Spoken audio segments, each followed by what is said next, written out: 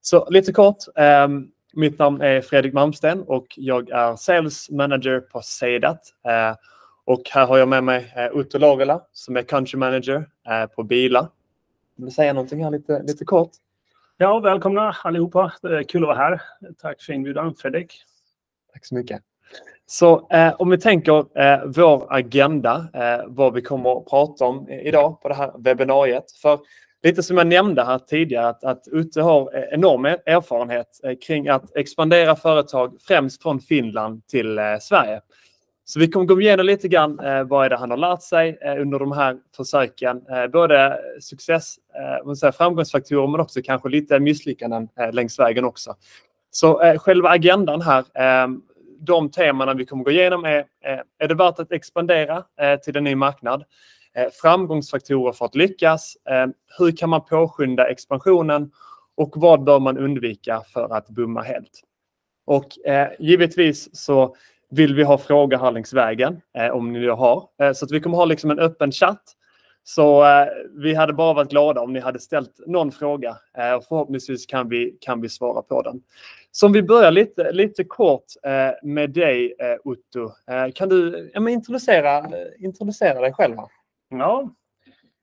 ja, jag heter Otto Laurila. Ehm, 41 år gammal. Eh, jag bor i Finland eh, sedan 20 år tillbaks, men eh, jag är född och uppvuxen i Sverige ehm, med finska föräldrar.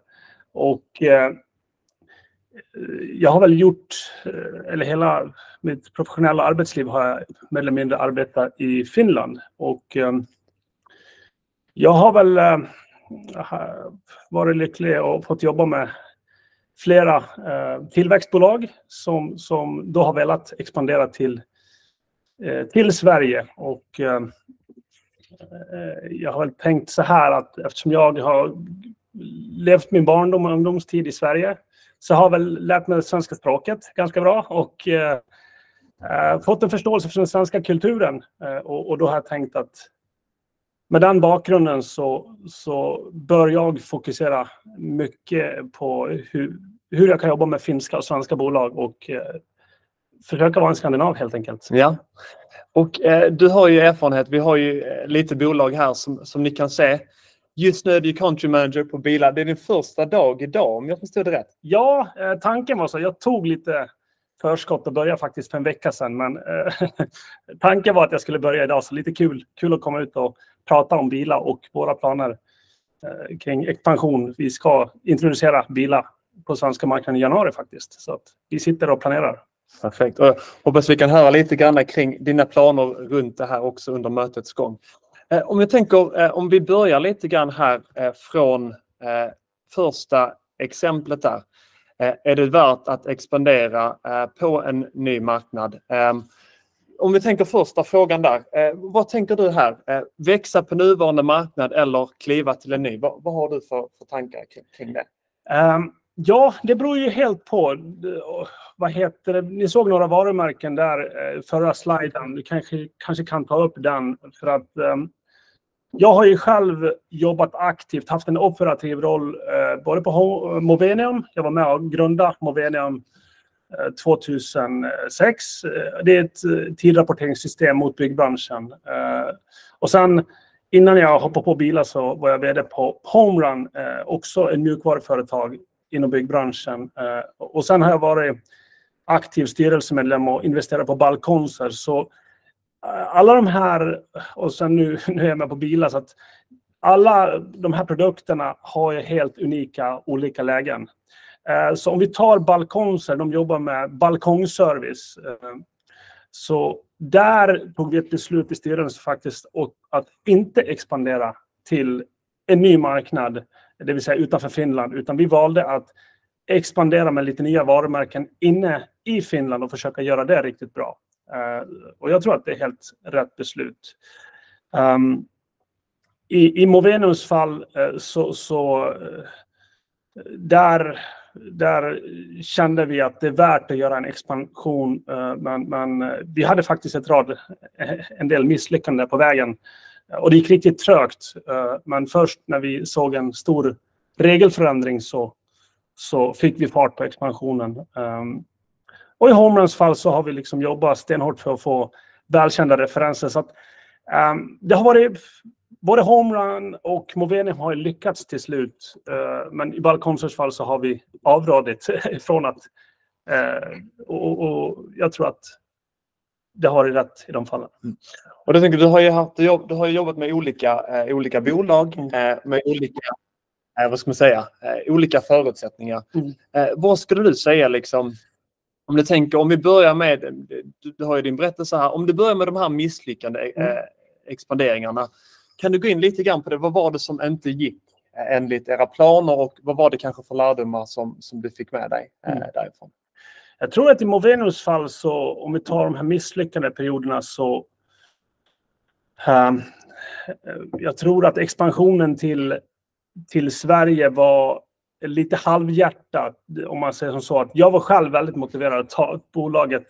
Eh, men, men jag var kanske inte redo att flytta till Sverige. Eh, lite familjeskäl där också. också och, Um, sen eh, var inte hela bolaget bakom expansionen riktigt hundra och sen hade vi ingen bra plan. Uh, vi började med att rekrytera uh, personer i Sverige och, och, och, där var ju personerna väldigt ensamma. Det fanns ingen riktig uppbackning, dålig marknadsföring och det var lite ja, vi anställer en säljare i Sverige och ser hur det går. Mm. Och, och, vi hade ju tålamod dock, men, men um, vi lärde oss såklart. Vi har alltid vi har, jag tycker att man, de här misslyckandena kan man lära sig mycket av och där lärde vi oss av att vi måste liksom vara beredda att satsa tillräckligt. Och um, i fas två där så då, då anställde vi två personer och sen började jag själv um, resa runt väldigt mycket i Sverige och vara med kollegorna och träffa kunder. Uh, och, och, jag tror att det som vi lärde oss det var att någon från moderbolaget som, som verkligen är motiverad uh, ska kunna jobba med och, och finnas så mycket som möjligt på den nya marknaden. Och, men jag tänker så här, jag jobbar ju själv i en startup eh, här i Finland. Vi har också, vi har också haft lite de tankarna. Eh, nu bestämde de sig för att eh, jag skulle jobba från Helsingfors i och med att jag bor själv i Helsingfors. Men vad tänker du kring liksom lite mindre bolag? Om man, liksom, man kanske inte... Jag tänker att det är också viktigt just det här att kunna eh, ha ett bra samarbete med kollegor, kunna lära känna dem. Om man är ett litet bolag, om man kanske är låt säga tio stycken och sen liksom sätter någon i Sverige, vad, vad är det liksom för för och nackdelar med det? Liksom?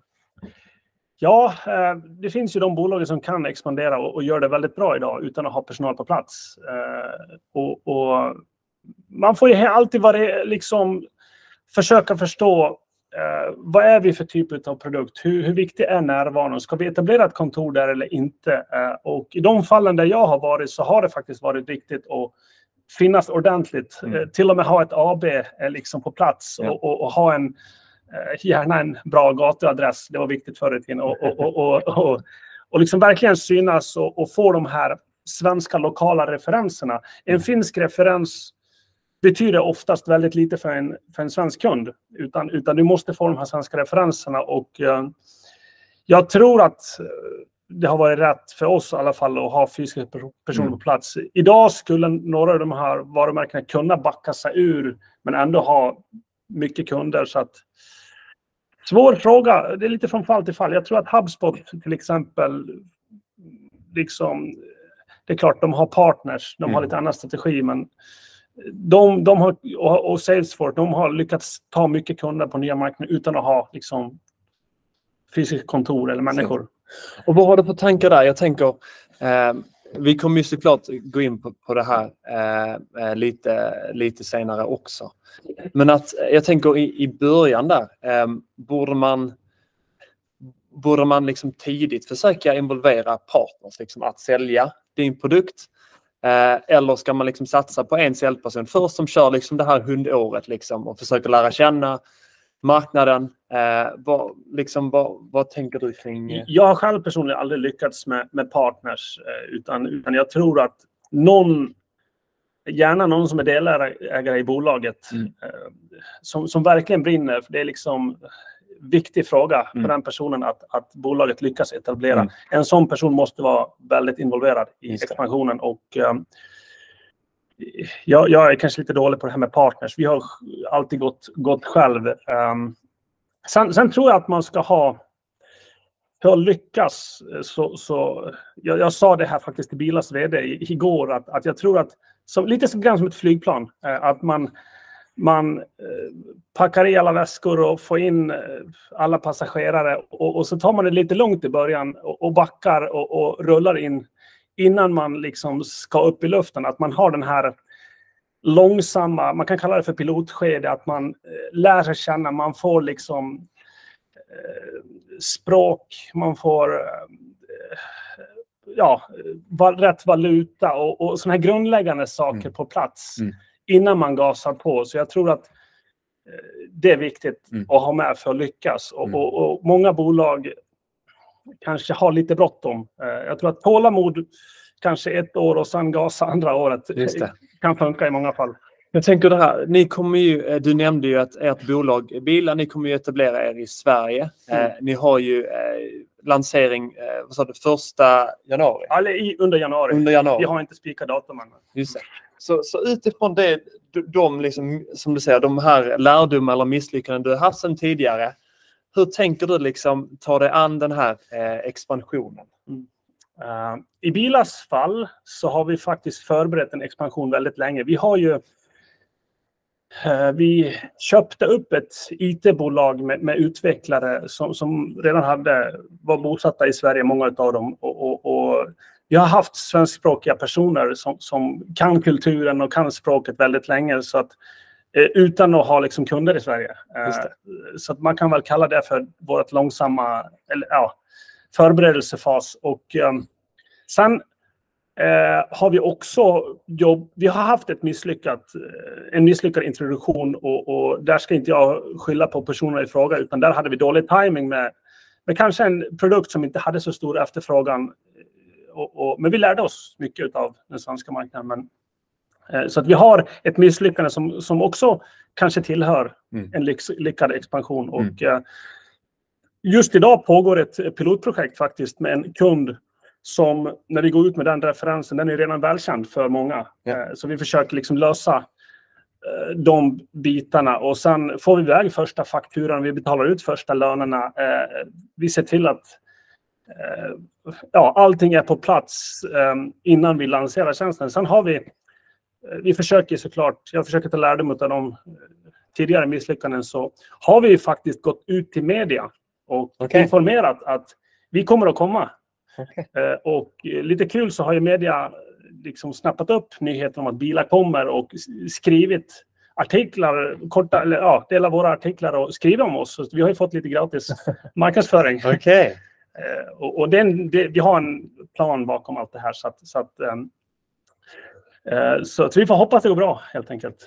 Och så som jag förstått det, förstår man, eh, de senaste åren har ni vuxit rejält i Finland. Mm. Både, ni, du sa någonting, ni började med runt 600 000 euro för några år sedan när du började, men nu så är det uppe på runt 10 miljoner euro. Ja, vi, vi har omsatt, eh, jag har varit med i Bilas styrelse och en av delägarna sedan sex år tillbaka. Så att vi hade en omsättning på, på 600 000 euro eh, för sex år sedan och Eh, förra året hade vi en omsättning på 6 miljoner, året innan 3 miljoner och nu, nu uppskattar vi att vi kommer att uppnå 10 miljoner. Så att bilar växer riktigt bra mm. Eh, och vi känner oss väldigt liksom redo att ta an. Eh, vi har ju också den unika möjligheten, jag tror att vi kan ta nästa slide kanske, yes. och, och, och, och vi har ju faktiskt finska bolag som vill att vi ska in i Sverige för att finska bilhandlare importerar ju mycket bilar från... Så att, så att där får vi liksom... Det finns en naturlig efterfrågan bland våra finska kunder faktiskt som vill att vi ska kunna hjälpa dem. Och, och jag tror att det är viktigt att man har några naturliga faktorer som kan bidra mm. till att det går lite snabbare. För att oftast kan det vara väldigt trögt. Mm.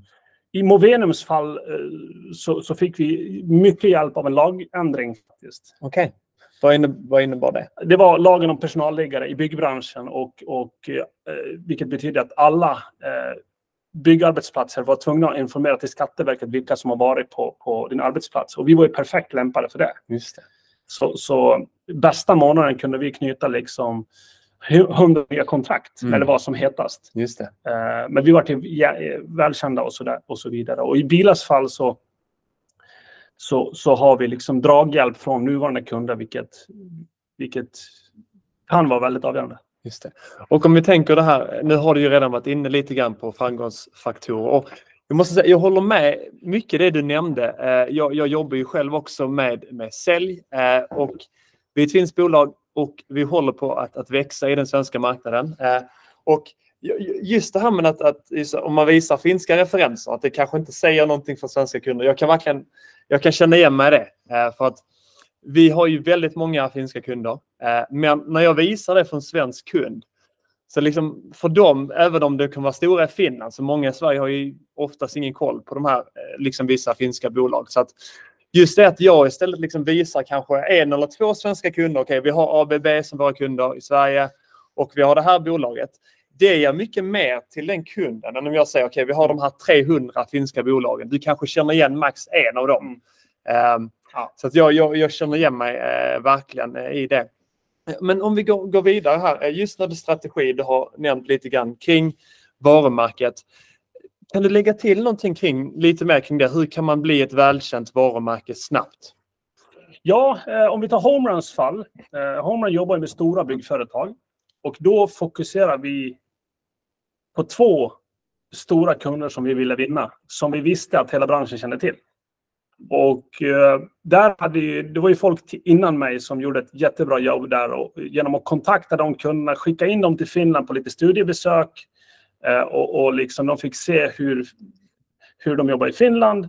Eh, så att vi hade, gjorde lite liksom ja, en lite större satsning på enstaka kund.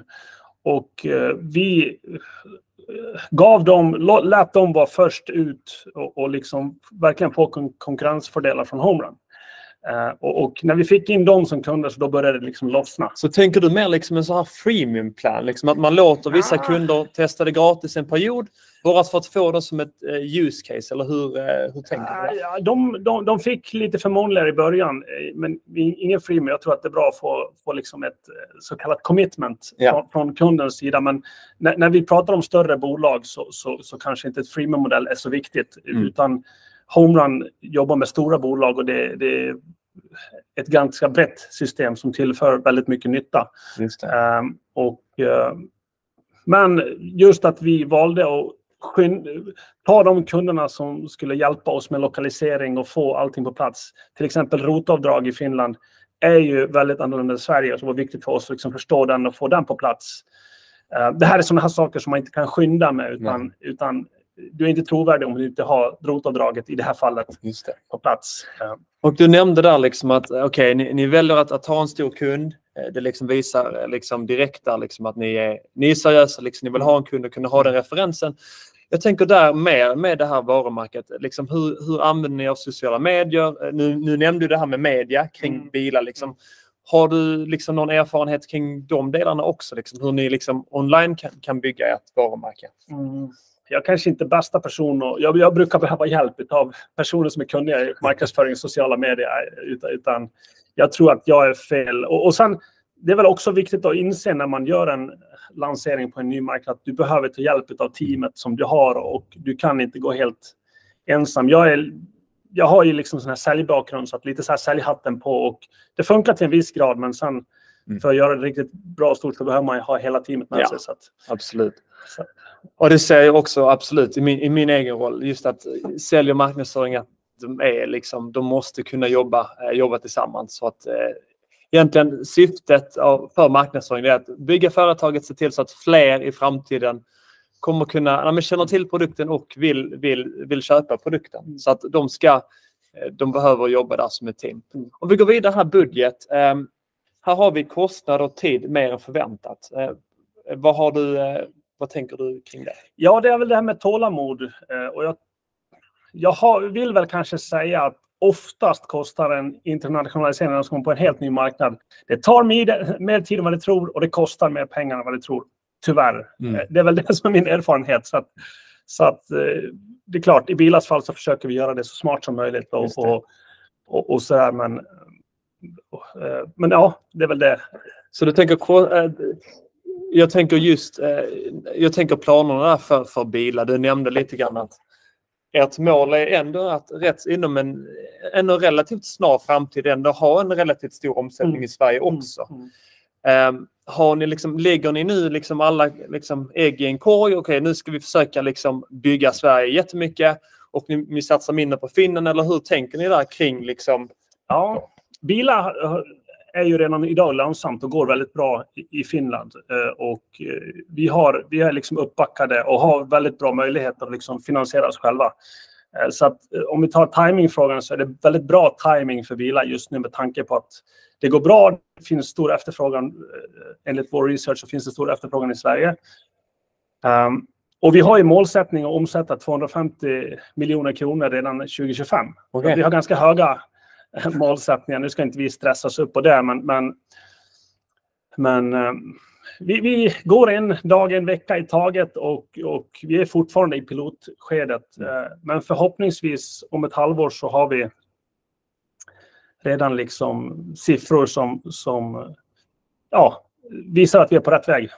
Jag, tänker bara lite som intressant här kring budget. Har ni liksom så här, lägger ni, vad är det, nu när ni ska liksom, jag tänker bygga upp eh, ett varumärke i Sverige, du sa, eh, ni vill öka omsättningen till 250 miljoner på bara några år. Liksom, vad är det för slags, vad är det ni lägger eh, liksom pengarna på? Är det liksom betalmarknadsföring och sociala medier? Har ni liksom olika samarbetspartner i Sverige för att bygga upp er? Hur, vad är tanken kring det liksom? I, I Bilas fall så, så kan vi få till ganska bra omsättning genom, genom att liksom teckna avtal med 10, 15. Det är ganska eh, liksom få antal bolag. Sen är det viktigt att vi får dem att använda oss fullt ut. Så att vi, vår, vår budget är ju, ska jag säga, eh, nästan allt handlar om att rekrytera rätt personal. Vi, vi har ju redan personal på plats där som sköter om pilotprojektet, som utvecklar tjänsten, men vi kommer att bli inom ett år sex, sju personer till, eh, både på sälj, marknadsföring och, och liksom logistik och support. Eh, och, och för oss blir egentligen nyckelfrågan och, och den stora kostnaden det är att rekrytera rätt. Just det. Eh, och så, såklart, får vi in mycket kunder snabbt, eh, stora volymer, så kanske vi påskyndar den här rekryteringen och så kan vi liksom eh, ta det lite långsammare om, om det går eh, långsammare än väntat. Så att, så att, ehm, vi, vi förväntar oss inga så jättevinster, att vi ska vara jättelönsamma, men vi tror att vi kan, vi kan liksom bli lönsamma relativt fort ändå. Mm. Och det är väl eh, förhoppningen såklart när man gör en sån här internationalisering. Jag tänker eh, om vi går vidare lite här. Eh, nästa är liksom viljan och kunskapen att göra en internationalisering. Ehm, vad har du för, för tankar kring det? För att så som jag förstått det för dig, i, i de bolagen där du har jobbat så har det varit Vissa har varit väldigt villiga att, att, att gå vidare. Du, du nämnde det att du själv var väldigt, väldigt taggad att gå vidare medan andra organisationen var lite tveksamma. Måste alla vara med på tåget eller räcker det att liksom beslutsfattarna är med? Ja, alla behöver inte vara med, men, men jag tror att alltså, det blir lättare om du har styrelsens, styrelsen och ägarna eh, och, och, och liksom sen ledningsgrupp och, som känner att det här är en intressant utmaning och det här är någonting som är värt för oss att göra. För det Mm. finns faktiskt flera fördelar när man väl lyckas. Det är att, att, att man är på en större marknad än kanske sina inhemska konkurrenter. Och när, när du har en större marknad än konkurrenterna, då har du liksom lite bättre förutsättningar när du lyckas. Just det. Så att, så att man får, får med eh, de flesta tror jag, tror jag är bra faktiskt. Mm. Eh, Och eh, den sista här, eh, timing, eh, den är ju, eh, det är ju en nyckel. Är det, liksom, eh, är det något speciellt? Eh, du, du nämnde liksom, nu har ert bolag vuxit eh, väldigt mycket i, i Finland. Eh, vad är det som gör att ni, ni känner att, att nu är det timing och inte om ett år eller för ett år sedan? Vad har du eh, för tankar kring det? Alltså det är en, eh, timing handlar om många frågor. Sen, vad heter det? I mitt personliga fall så var ju bra timing. Jag var redo att liksom hoppa på bilar. Jag har haft en styrelseroll och för mig var det bra timing att hoppa på nu. Och, och, och när jag pratade med vdn så tyckte han också att det är bra timing. Bilar vill in i, i Sverige nu. Så att, så att, eh, men, men eh, det är liksom inte smart att lansera en Nokia eh, överhuvudtaget idag med, med gammal teknologi. Men, men, men, vi ska inte gå in på det. Men, men jag tror att det är en kombination av att du har en konkurrenskraftig produkt och, och, din research säger att det finns en efterfrågan och sen har du faktiskt personal och hela bolaget är villiga. Så att, så att, och, och, och, gärna att det finns några lagförändringar, någonting som kanske dina kunder har börjat liksom säga att nu är det dags, vi önskar att ni går in, att det finns liksom flera faktorer som tilltalar för en mm. expansion. Då, då tror jag att det är bra timing. Eh, så att, eh, men om det är bara liksom en säljare som vill, vill på en ny marknad men ingen annan är med så då, då är det svårt att lyckas. Mm. Och eh, om vi går, vi går, vidare lite där. Eh, vi pratat, nu har vi pratat lite grann kring eh, om man överhuvudtaget ska eh, expandera, eh, vad är det man ska tänka på. Eh, om man då känner liksom att man vill, man vill påskynda expansionen. du nämnde lite grann regeländringar och jag tyckte du, ehm, du nämnde också en, en lite rolig referens där tidigare. Mm. Ehm, kan du, kan du gå in lite på, grann på det här med, med regeländringar och vad, hur viktigt egentligen det är för att, att påskynda eh, Eh, referensen? Eller påskynda expansionen? Ja, men man kan ju se regelförändringen som, som måsten och det är ganska bra motivation för, för många bolag. Vi ser ju, det sker ju ändringar och regeländringar, skatteregler och, och, och olika saker inom GDPR och, och, och om vi tänker till exempel att ditt bolag hjälper företag med GDPR så har den här lagförändringen såklart boostat ditt. Så att jag tror att det är en självklarhet. Men man ska väl kanske försöka lyssna och se, händer det någonting intressant i vår bransch mm. inom regeländringar? Så att mm. vara lite vaken och kanske om ni ser att det sker en regeländring 2025, kanske expandera året innan eller senast då. Så att man inte kommer tre år senare. Mm. Och jag tänker också ni online, eh, om det är som så att ni har eh, någon fråga här under eh, mötets gång eh, kring det som vi redan har diskuterat eller kanske någon av de ämnena som ni ser framför er. Då uppskattar vi verkligen om ni har någonting eh, att, att eh, ja, men, eh, någon fråga eller någonting som ni själva vill dela med er av. Ehm, så som sagt, oavsett var vi, vi är i, i diskussioner så är det bara, ehm, bara att, att skriva. Och vi går in på, på, tid, på, på, nästa där. Jag kan börja lite grann kring, kring den välkända referens tidigt. Någonting som jag har märkt eh, i min roll, som sagt, jag jobbar också eh, i Helsingfors eh, på ett bolag som heter Sedat. Vi har då en, en presentationsplattform för sälj och marknadsföringsteam. Och ehm, jag har också eh, väldigt märkt det just betydelsen av i början, när man kommer till en ny marknad, att man har en, en tydlig referens som man då kan, kan nämna i, i möte eh, med kunderna. Um, exempelvis, jag nämnde det lite grann eh, i, i början, att um, vi har ju exempelvis ABB som, som en av våra kunder och det känner ju alla i, i Sverige om. Men om jag skulle nämna, låt säga en, en, låt säga en, en designbyrå i Vasa, eh, så liksom sannolikheten är ju inte jättestor att, att, att, att de känner till eh, just vad företaget är. Så att det är någonting som vi har fokuserat på ganska mycket här, att, att försöka ta de, de svenska referenserna vi har att försöka tydliggöra dem i, i, i, i våra möten då. Ehm, för att det blir, blir mycket enklare eh, att, att ta sig igenom de här första, första stegen. Vad har du för erfarenhet kring det? Ja, men eh, och där kan man anpassa sig. Låt oss säga att du har finska fotbollsklubben HJK. Mm. Och, och, det kanske är väldigt okänt varumärke i allmänt i, i, i Sverige, men om du ska sälja till IFK Göteborg så då kan ju den referensen liksom vara relevant. Så att man anpassar också vilka referenser man använder. Och sen kan ju referens ABB kanske inte vara så relevant för det lilla svenska bolaget som tänker att det här är en produkt för stora fina bolag. Medans, ja, så att man anpassar också referenserna lite grann så att, så att det inte blir helt fel. Absolut. Eh, om vi går vidare här lite grann kring eh, lokal förankring. Eh, du nämnde det här, eh, vem är redo att flytta till nya marknader? Du nämnde också här till mig innan att ja, alltså det bästa för mig är egentligen att, att flytta till Sverige. Men du har ju fem barn och fru, mm. så det kanske inte är något, något alternativ eh, just nu. Mm. Kan du gå spinna vidare? på ja, Jag tror att i många fall, om man vill påskynda eller verkligen göra, så måste det är nästan ett måste att någon flyttar. nu, nu, i vårt fall, fall så har vi lyckligtvis personal på plats och sådär. För mig blir det pendla en hel del.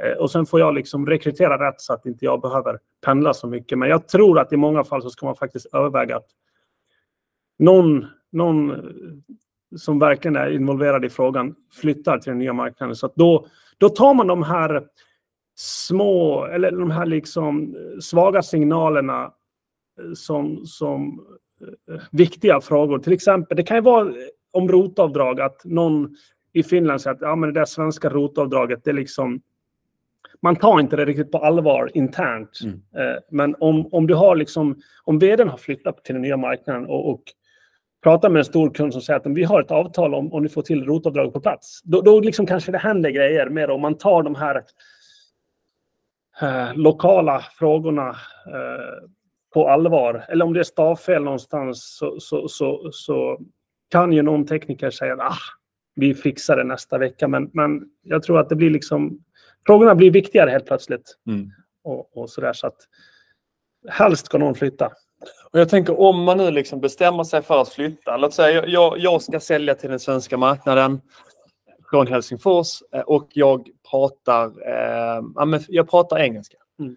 Vad är skillnaden att ha någon som, som liksom kan kulturen, kan språket i förhållande till någon som ringer från Finland och pratar engelska till svenska kunder? Mm. Jag tror att språk och, och kultur är väldigt viktigt. Eh, och, och, mellan Finland och Sverige till exempel så är det faktiskt väldigt stora kulturella skillnader här. Och, och, och det finns ju och det är sällan en copy-paste funkar, liksom att man, ja vi kör som vi har gjort i Finland, utan, utan eh, kulturella frågan är jätteviktig eh, och, och, och kunna språket. Eh, tror jag, jag, tror att det är lite svårt att gå in och bara prata engelska. Då måste du ha svenska kollegor som kan svenska ja. till, till, stöd. Eh, så att, så att alla behöver inte kunna svenska, men, men flera stycken behöver mm. nog på sikt kunna, kunna liksom det lokala språket också.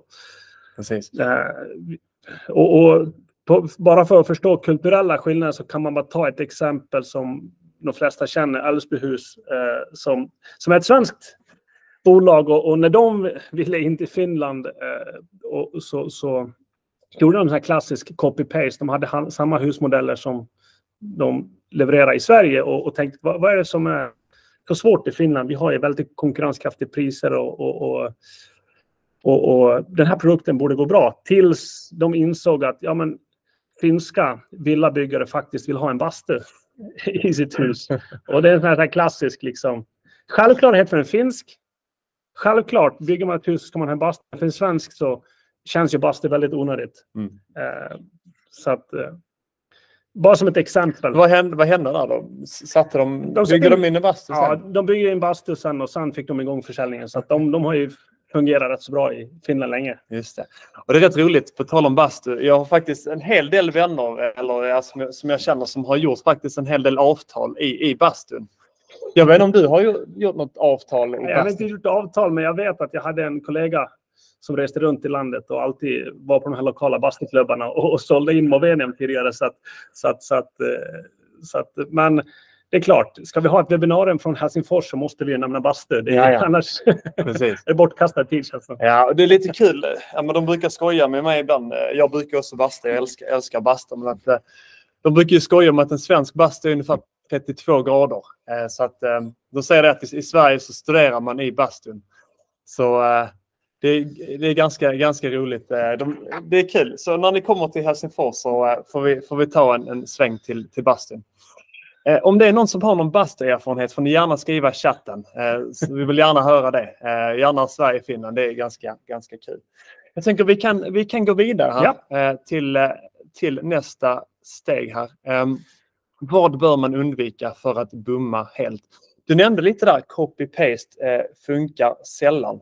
Ehm, skulle du vilja, liksom, är det något annat exempel du tänker på? Eller om jag tänker liksom, om man har en säljstrategi i Finland, Funkar det, är det så att det automatiskt kommer att funka i Sverige också? Eller vad är det man bör tänka på i samband med att man sätter eh, strategin där? Jag tror att till exempel det här med copy-paste. Om vi tar till exempel när man anställer en svensk person bara. Så finns det ju sådana här, jag vet inte om det är oskrivna lagar, men, men dag före röd dag före helg så brukar ju svenskarna sticka vid lunch.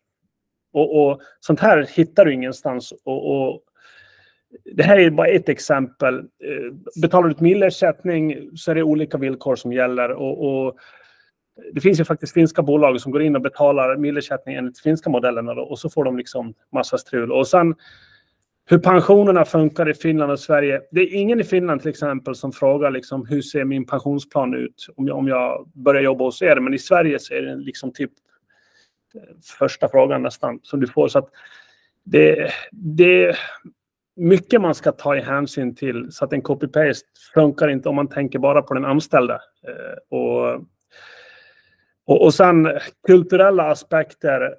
Finnarna brukar ha en tendens att gå rakt på sak medan svenskarna kanske vill vill prata om sina husdjur och hur det gick under helgen och sånt här. Så att, så att vi är väldigt olika och, och, och, och sådär så att mm ja, man kan prata om kulturella skillnader ganska mycket faktiskt. Men jag tror att det underlättar om man förstår dem eh, så kan man vara en bättre arbetsgivare. Jag tycker det är ganska kul det här med kulturella aspekter eh, generellt. Nu ska man inte generalisera, men eh, jag skrev min, min, jag studerade business här i Helsingfors. Det var egentligen så jag hamnade där. Min fru också finns. Men att jag skrev min mastersuppsats på ett bolag. Intervjuade, intervjuade olika, olika företag och ett av bolagen liksom, så börjar jag fråga liksom, hej, hur, hur, är läget? Eh, liksom, I Sverige brukar man ha det här kallpratet i början. Liksom, men att efter en och en halv minut så okej, okay, eh, ska, vi, ska vi börja? Liksom? Ska vi börja på riktigt nu? Eh, och det, är liksom, det är inte ofta som man träffar liksom, en svensk som liksom... Jag har haft vissa kundmöten, liksom, första 25 minuterna har vi pratat om fotboll. Eh, om man hittar något gemensamt. Men i Finland är det liksom rätt sällan. Vad, vad har du för eh, tankar kring det?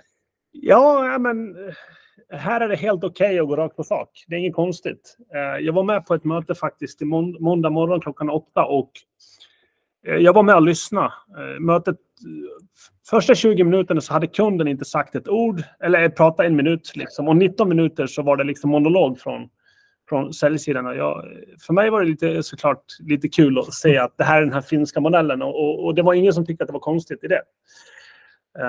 Men hade det varit i Sverige så hade man kanske spenderat första 5-10 minuterna åt ja, väder kanske och lite grejer som händer i livet. Exakt. Exakt. Och jag tänker där också, just jag har också märkt lite grann det att jag tänker beslutsfattarna. Jag träffar ju väldigt många olika eh, beslutsfattare om det är liksom säljdirektörer eller det är vd. Olika slags. Och jag har märkt lite skillnad från när mina finska kollegor har möte med deras eh, liksom, finska motsvarighet. Att det känns som att i Sverige även om man kanske inte är intresserad eh, så kanske man inte säger det direkt. Liksom. Man kanske säger, ja men intressant möte, vi kan väl, eh, vi kan väl se här vad som händer liksom, om, om någon vecka eller så. Liksom. Du kan väl skicka något, något, något material. Men i Finland känns det som att de är kanske lite mer direkt och säger liksom, okej, okay, um, det är inte rätt timing just nu eller vi känner att men det här är kanske inte eh, en produkt som, som passar vårt.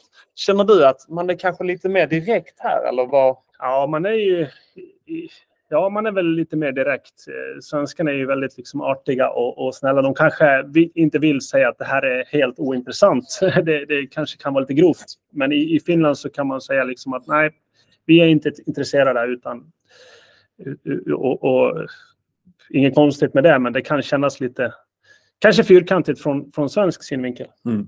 Så jag har faktiskt, jag har börjat bli lite mer finsk nu liksom att jag, ibland liksom har jag ett möte och jag känner liksom okej, okay, de är kanske inte jätteintresserade just nu så, så har jag blivit lite mer finsk. Så jag har sagt liksom okej, okay, eh, liksom jag vill inte slösa din tid i framtiden och jag vill inte heller att du slösar min tid. Så att känner du eh, helt ärligt nu, skulle du vilja gå vidare? Ja eller nej? Mm.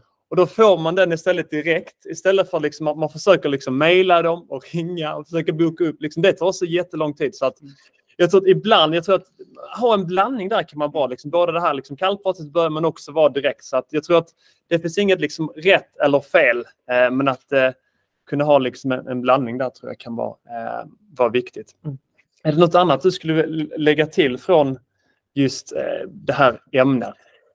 Ja, jag vet inte vad man bör undvika. Ja, nej, men kanske repetera lite grann. Det är viktigt att förstå de kulturella skillnaderna och, och, och liksom göra en lagom anpassning. Det betyder inte att man behöver anpassa allt. Din produkt behöver kanske inte, men, men att man anpassar eh, liksom tillräckligt för att liksom kunna vara attraktiv. Och, och, jag tror att det här Älvsbyhuset-exemplet är liksom bra att ta med sig. Liksom. Det var inte alls självklart, kanske inte är självklart för de från Sverige som lyssnar, hur, hur viktigt det är med bastu, men om det är någon här som är bosatt i Finland så förstår man att det här är en självklarhet. Så att, så att, eh, yes. Jag tror det exemplet, exemplet berättar ja, ganska mycket. Yes. Och bara lite grann för att runda av. Vi kommer ju sammanfatta allting, men innan vi, vi sammanfattar eh, så tänker jag bara gå in lite grann på vad eh, Sedat är för någonting. Eh, för er som inte känner till Sedat eh, sedan tidigare så är, har vi då en presentationsplattform för sälj och marknadsföringsteam. Och den kan då användas i, i hela säljprocessen och Utte har faktiskt använt eh, Sedat också eh, sedan tidigare. Så jobbar ni med sälj eller marknadsföring eh, får ni jättegärna eh, höra av er här i, i efterhand så vi kan ta en diskussion. Bara för att lite kort sammanfatta. Eh, har, nu känner ni till allting om, om bilar eh, och förhoppningsvis så kanske vi har någon blivande kund här eh, med i mötet eller som, som kollar i, i efterhand. Eh, om man tänker just Sedat, eh, vad är det vi gör för någonting och vad är det för fördelar eh, ni kan se av Sedat? Jag skulle säga att det finns olika sätt eh, som man hade kunnat använda vår plattform. Eh, dels när det gäller materialhanteringen. Jag träffar ganska många eh, sälj och marknadsföringsteam som har problem med att, att hitta det senaste materialet. Man kanske har flera versioner av ett och samma dokument. Eh, men det är någonting som, som vi kan överbrygga i, i vår plattform med tanke på att allting är samlat eh, på ett och samma ställe. Oavsett om det är säljpresentationer, eh, inom marknadsföring eller vad det nu än må vara. Så att där kan man spara extremt mycket tid och man, man slipper fråga sin kollega tre minuter in i ett möte. Hej, har du sett den här senaste sliden? För att allting kommer vara väldigt, väldigt enkelt att hitta. Eh, en annan eh, viktig funktion eh, just när det gäller cell, det är att kunna följa upp saker och ting. Eh, jag, hade en, jag hade ett möte häromdagen eh, på tal just, just om det här att de nämnde att de skickar ungefär 100 presentationer i månaden. Men de har inget sätt de kan följa upp det på. Så de, det blir liksom väldigt mycket manuellt eh, handpåläggning att de måste ringa och, och, fråga kunden om de ens har öppnat. Men eh, i vår plattform så kan de faktiskt se det direkt. Så efter man har haft ett möte eh, i, i plattformen så skickar man en länk till kunden och när väl kunden öppnat eh, den här presentationen så kommer säljaren få en notifikation. Och då kan man även gå in på djupet och faktiskt kolla på mer i detaljnivå eh, vad kunden faktiskt har tittat på. Ehm, jag hade faktiskt en erfarenhet här om dagen. Ehm, vi har ju ett CRM-system och där hade jag ett möte med en kund i, i maj. Och då nämnde han just nu, på tal om timing, att men nu var det, inte, det var inte rätt timing då, så vi, vi satte ärendet som, som stängt. Men för typ tre dagar sedan så fick jag ett mejl eh, att den här eh, kunden hade öppnat presentationen. Så då, då slog jag ett samtal, jag, jag skickade också ett meddelande och frågade liksom, okej, okay, är, det, är det läge för er nu att, att gå vidare i diskussionen? Så att det hade ju aldrig varit möjligt om jag inte hade haft den möjligheten att kunna följa upp eh, just liksom när de har öppnat. Aldrig kunnat få den här eh, nya möjligheten. Så det är väl om man tänker eh, lite, lite kort eh, vad Sedat är för någonting. Att det är en presentationsplattform för säljteam. Ni kan sälja mer, ha mer interaktiva möten men också ha allting samlat eh, på ett och samma ställe. Eh, om vi eh, sammanfattar också, eh, Otto. Vi har ju, eh, om vi går tillbaks eh, till denna sidan då. Eh, vi har gått igenom, eh, är det värt att expandera till en ny marknad? Eh, framgångsfaktorer för att lyckas. Hur kan man påskynda expansionen och vad bör man undvika för att bomma helt? är det något liksom, sista här du skulle vilja, vilja säga eller någonting som du vill att de som sitter med här idag att de ska ta med sig från det här mötet? Jag tror att um, om, om vi tänker oss att vi, vi väl lyckas med en expansion. Jag var inne lite grann på det. Fördelarna med det eh, blir ju att man är på en större marknad. Man har konkurrensfördelar gentemot sina konkurrenter. Så att, eh, så att det är väl det att, att eh, och, och man kan faktiskt det blir ju många fördelar. Till, till, exempel om man skulle vara en bilhandlare idag som finns i både Finland och Sverige så, så, har man ju några miljoner till kunder man kan sälja till och sen kan man när det är kursförändringar kanske ta vara på det och, och vara lite agil och, och, kanske importera mer bilar när, när vad heter, kronan är svag och, och man, man, kan dra nytta på många sätt. Mm. Vi gjorde till exempel eh, på Homerun så gjorde vi, vi hade en konkurrent som hade en ganska bra eh, tilläggsprodukt i sin portfölj, en direkt konkurrent. Och eh, de fanns ju inte i Finland. Så då tog vi den egenskapen, utvecklade den eh, i Homerun och så lanserade vi det som en nyhet på finska marknaden. Okay. Så att, så att eh, man kan liksom... Man får... Så copy-paste funkar ibland? Ja, copy-paste funkar ibland, exakt. exakt. Och, och, och, men, men jag tror det stora hela är, för det är många bolag som tyvärr eh, får det tufft eh, och oftast kan ju anledningen vara att du har för lite efterfrågan. Att, mm. att du har en bra produkt, du har bra personal, men marknaden blir för liten. Ja. Eh, och, och, lyckas man expandera till en ny marknad, då har du faktiskt en större marknad än, mm. än så att lite mer grönt gräs att klippa just det. än grannen. Och det känns som att överlag, liksom att just... Jag skulle tänka mig att 90 procent av alla finska bolag, de börjar i Sverige. Ja. Har jag rätt? Ja, ja, det kan jag tänka mig. Jag har ingen statistik. Det är, ingen, nej, men det, det, är det liksom jag har förstått. Så att, helt rent generellt att det är väldigt lika, lika marknader. Så att det blir ju kanske, eller det, det, är relativt lika, i alla fall mer likt än om man tänker andra länder i, i mm. Europa. Ja, jag, jag, tror att kanske expandera österut kanske inte är så populärt, speciellt idag. Eh, och sen går man söderut till Estland så är marknaden lite mindre. Eh, sen är det faktiskt ganska många som kan en del svenska mm. Eh, och, och, Sverige känns liksom som det naturliga. Det kanske inte är rätt att expandera till Sverige. Vi kanske hade gjort mycket bättre att expandera till andra marknader, men, men det är väl det som blir det naturliga. Mm. Jag tror inte av de anledningarna. Ja. Fint. Jag tänker här i, i, i slutet. Eh, vi är jättetacksamma för alla som har varit med idag. Eh, vi hade gärna, om ni har möjlighet, eh, jag lägger fram en QR-kod här. Så om ni, eh, om, här har ni våra QR-koder, så att här kommer det till Ottos eh, LinkedIn, så se till att bli vän med honom och försöka boka in ett möte. Och för mig också, här är min kalender. Så eh, om ni har er telefon eh, framme så boka gärna in ett möte så kan vi fortsätta diskussionen oavsett om det gäller försäljning eller eh, ja, kanske vad vi diskuterade mm. Eh, här idag. Jag tänker nu har vi ju, eh, vi är rätt så flexibelt här med tiden men vi håller på att gå mot, mot slutet här. Jag tänker, är det någon här i chatten eh, som har någon fråga innan vi avslutar? så har ni en minut på er att, eh, att skriva in det.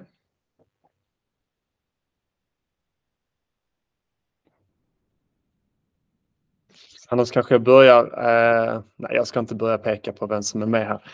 Eh, annars så givetvis kan ni skicka, skicka i efterhand också. Eh, ni har ju våra kontaktuppgifter och eh, ni kan ju också vara beredda på att vi kommer säkert kontakta er också i efterhand. Um, men med det sagt så eh, vill vi tacka så hemskt mycket. Eh, är det något fint stort förresten du vill lära dem här innan, eh, innan vi avslutar? Något som du inte känner till? Nej, jag vet inte. Alla känner väl till SISU, men det, det som jag hörde på Nordic Business Forum, det är ju det är liksom... När man rekryterar på en ny marknad så ska man gärna hitta personer som... Ah, de sa att gärna någon som har haft lite motgångar kanske i livet, men som har det här liksom SISU. De, de vill visa vad de går för och där, där kan man få mycket kraft. Så att, så att, eh, kan ni rekrytera SISU utanför Finland så kommer ni långt. Nice. Perfekt. Med det så säger vi Kitos. Tack så jättemycket och eh, på återhörande. Tack så mycket. Tack.